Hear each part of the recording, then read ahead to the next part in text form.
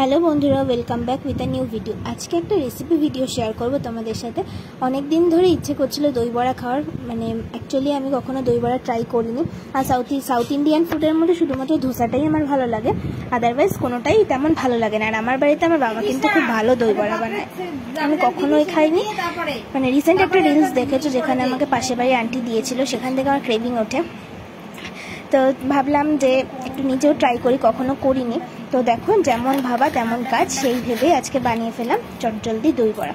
দোকানের থেকেও খুবই টেস্টি খুব সহজ উপায় মাত্র কয়েকটি উপকরণ দিয়ে বানিয়েছি এই জিনিসটা। তো রেসিপিটা ভিডিওটা স্টার্ট করছি। তো দেখো আমি এই যে বিউলির ডাল যেটা সেটা আমি একদিন রাত্রিবেলা রাত্রিবেলা ভিজিয়ে রেখেছিলাম। এখানে দু কাপ মতো রয়েছে ডাল। আর এই ডালটা ভিজিয়ে রেখে আমি পরিষ্কার জল দিয়ে ধুয়ে আবার রেখেছিলাম। মোটামুটি দশ থেকে বারো ঘণ্টা আমি এটাকে ভিজিয়ে রেখেছি। যতক্ষণ ভিজিয়ে রাখা যায় ভালো হয়। আর তো আমি এটা মিক্সিতে দিচ্ছি, তোমরা চাইলে শিলেও বেটে নিতে পারো। আর তার মধ্যে দিয়েছি দুটো পরিমাণ কাঁচা লঙ্কা। কাঁচা লঙ্কাটা দিলে পরে দইয়ের মানে বড়ার মধ্যে পরে একটুখানি ঝাল ঝাল ভাবটাও আসবে। তো এর মধ্যে আর কিছুই দেবো না, দিয়ে দিলাম সামান্য অল্প পরিমাণে নুন। তো দেখো এটাকে এবার ফ্যাটাতে হবে। তোমরা চাইলে হাত দিয়েও ফ্যাটাতে পারো। আমি এই ম্যানুয়াল হ্যান্ড ব্লেন্ডারটা নিয়েছি। যেহেতু বাড়িতে কেউ ছিল না, তো দেখো এরকম প্রবলেম হচ্ছিল আমার এটাকে ফ্যাটাতে তো বাবাকে বললাম, একটু দাঁড়াও, দেখো খুব প্রবলেম হচ্ছে। মানে আমার এরকম যেহেতু ভাই বাড়িতে নেই, যোগাতে গেছে, তো বাবা ধরলো। তারপরে আমি এরকমভাবে একটু ফ্যাটাচ্ছিলাম একটু অসুবিধা হচ্ছে, কারণ বাবা তো কখনো ক্যামেরা ধরেনি। তার জন্য একটু এদিক ওদিক হয়েছিলাম, বাবাকে বলছিলাম, ঠিক মতো ফোকাস করে ধরো, নাহলে খুব অসুবিধা হয়ে যাবে। আমি অনেক জায়গায় দেখি মৌরি, আদা বাটা অনেক কিছু দেয় বড়ার মধ্যে বাট আমি সিম্পলভাবে আজকে ট্রাই করেছি, তাতে সবার খুব ভালো লেগেছে, সবাই বলছে খুব ভালো হয়েছে। এটা ফেটাতে হবে ততক্ষণ, যতক্ষণ এটা ফ্লাপি হয়ে যাবে, আর এটা কিন্তু ক্যামেরার জন্য এরকম মনে হচ্ছে যে এটা প্রথম থেকেই সাদা, কিন্তু না, প্রথমে একটু হলুদ হলুদ ছিল। দেন তারপরে আমি এটাকে ভালো করে ফেটিয়ে নিয়ে দেখো ফ্লাপি হয়ে গেছে। এবার কি করে বুঝবে? এটা বড়া তৈরির জন্য পারফেক্ট তো একটা বাটির মধ্যে একটু জল নিয়ে নিয়েছি। তার মধ্যে আমি এই মিশ্রণটা একটু দিয়ে দিলাম। দেখো, এটা এক্ষুনি জলে মানে ভেসে উঠবে। তাহলেই তুমি বুঝতে পারবে, না, এটা বড়া তৈরির জন্য পারফেক্ট তো বাবা আবার উল্টো পাল্টা ধরছিল। দেখো, আমি ঠিকভাবে তোমাদেরকে দেখিয়ে দিলাম। দেখো, এটা মিশে যাচ্ছে না, ভেসে রয়েছে। তো আমি এবার কড়াইয়ের মধ্যে দিয়ে দিলাম তেল। এবার এর মধ্যে এগুলোকে মানে বড়ার আকারে করে করে ছাড়বো। তো বড়াটা যাতে হাতেটা মানে মিশ্রণটা যাতে হাতে লেগে না যায়, তার জন্য একটু জলে ভিজিয়ে নিয়ে হাতটা তারপরে বড়াটা দিলে পরে কিন্তু খুব ভালোভাবে এটা তোমরা দিতে পারবে মানে প্রবলেম হবে না, হাতে আটকে আটকে যাবে না। এরপর আমি এর তেলের মধ্যে বড়াগুলোকে ছেড়ে দেবো। তো তো ফার্স্টে বড়াগুলোকে ভেজে নিই, তারপর ফিরে আসছি পরের স্টেপে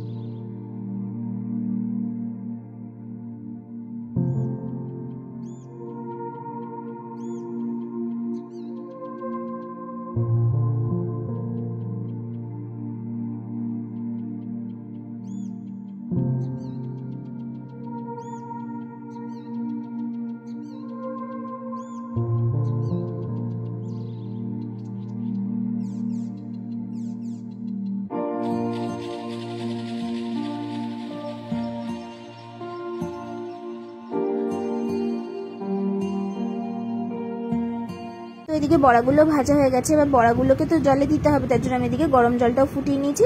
আবার একটা মানে ওই বড়াগুলো তুলে নিয়ে নতুন করে বড়া দিয়ে এগুলোকেও ভাজা হয়ে গেছে।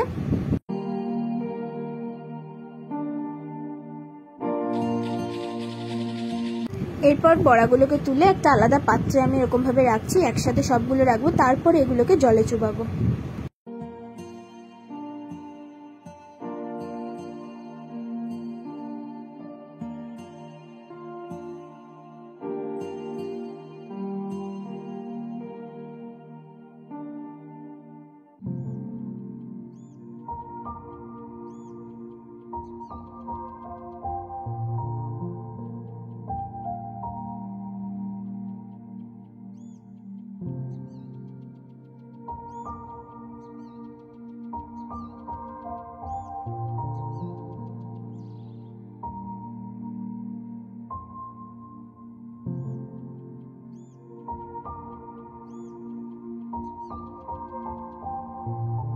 দই বড়ার ওপরে যে গ্রিন চাটনিটা দেখতে পাওয়া যায়, সেটা তৈরি করার জন্য আমি এখানে দু থেকে তিন কোয়া রসুন নিয়েছি।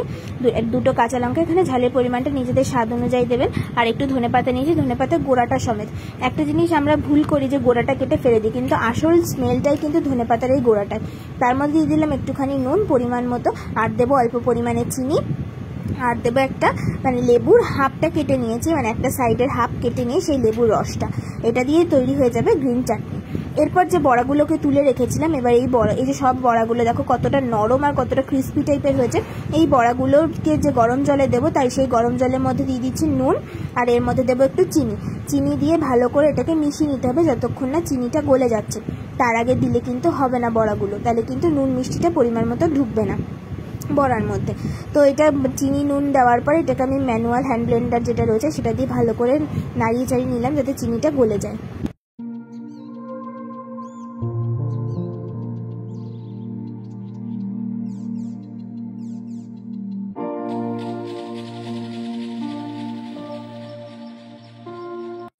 জলের মধ্যে চিনি নুন ভালো করে মিশে গেছে, এবার আমি এক এক করে ওই যে বড়া ভেজে রাখা বড়াগুলো সব দিয়ে দিলাম এর মধ্যে। তো দিয়ে আমি এটাকে দশ থেকে পনেরো মিনিটের মতো রেখে দেবো। এরকমভাবে একটা মানে কোনো একটা পাত্র দিয়ে ঢেকে, তো এদিকে দইটা আমি ফেটিয়ে নিই ওটা ওরকম থাকুক। এদিকে রয়েছে রেড কাউয়ের যে দই রয়েছে, সেই দই এনেছে বাবা।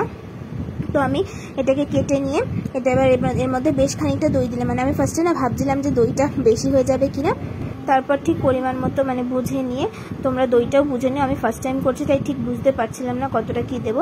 তার মধ্যে দইয়ের মধ্যে একটু দিয়ে দিলাম বিট লবণ। এরপর দেবো একটু সাধারণ যে নুন রয়েছে, আমাদের নর্মাল নুন, সেই নুনটা একটু দেবো আর দেবো একটু চিনি। এই তিনটে জিনিস দিয়ে দইটাকে সুন্দর করে ফ্যাটাতে হবে। তোমরা চাইলে এর মধ্যে বরফ অ্যাড করতে পারো। আমি বরফ দিয়ে দিয়েছি একটু নর্মাল জল।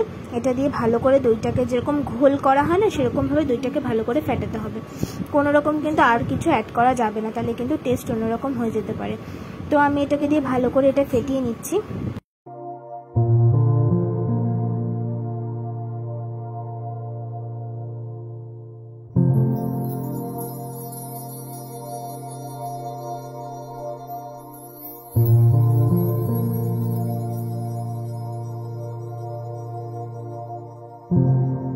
একটা করে কাজ কমপ্লিট করে রাখছি। এদিকে দইটা ফেটানো হয়ে গেছে। এদিকে দেখো বড়াটাও সুন্দরভাবে জল মানে জল অ্যাবজর্ব করে নিয়েছে। তো আমি এখান থেকে মানে হাত দিয়ে চেপে চেপে বড়া থেকে জলগুলোকে একটু আলাদা করে নেব।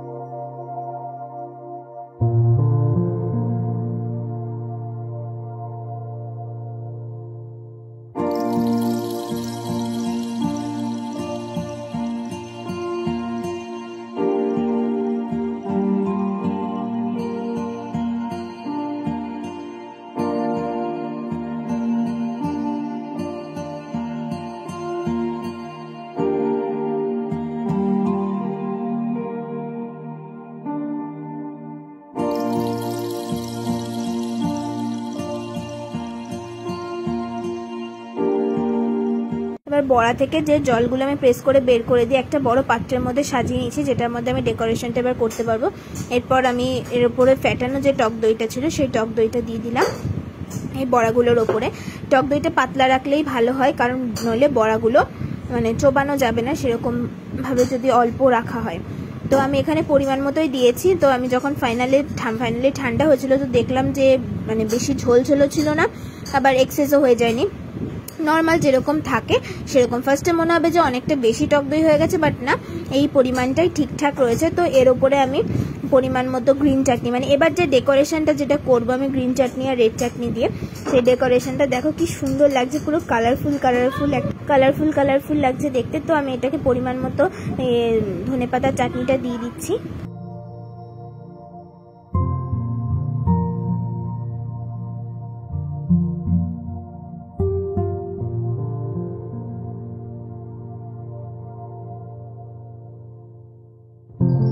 চাটনি দেওয়ার পর ওপর থেকে টমেটো কেচাপ দিলাম।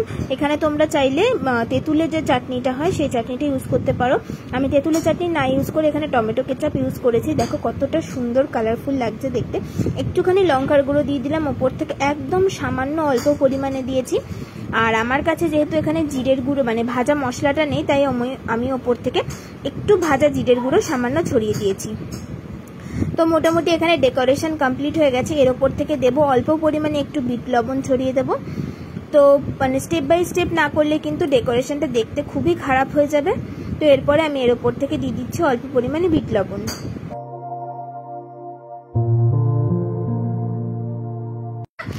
এরপরে এর ওপর থেকে দেব হচ্ছে যে ঝুড়ি ভাজা বা সেও ভাজা যেটাকে বলে, সেই ঝুড়ি ভাজা পরিমাণ মতো ওপর থেকে ডেকোরেশন করলেই সাজানোটা কমপ্লিট হয়ে যাবে। তো এরপর এটাকে একটু ফ্রিজে রেখে দিতে হবে ঠান্ডার জন্য। যারা ঠান্ডা খেতে ভালোবাসেন তাদের জন্য তো ফ্রিজে অবশ্যই রাখতে হবে। আমি নর্মালি এমনি রেখেছিলাম একটু কিছুক্ষণের জন্য ঢাকা দিয়ে।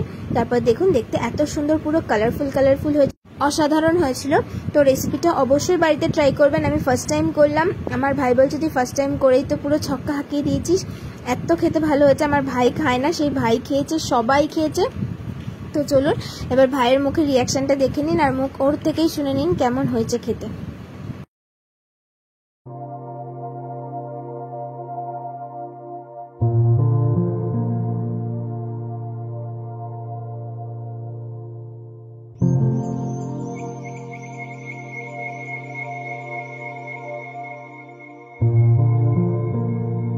তোর জন্য কি এনেছি? দই বড়া হ্যাঁ খেয়ে দেখ কেমন আছে ছান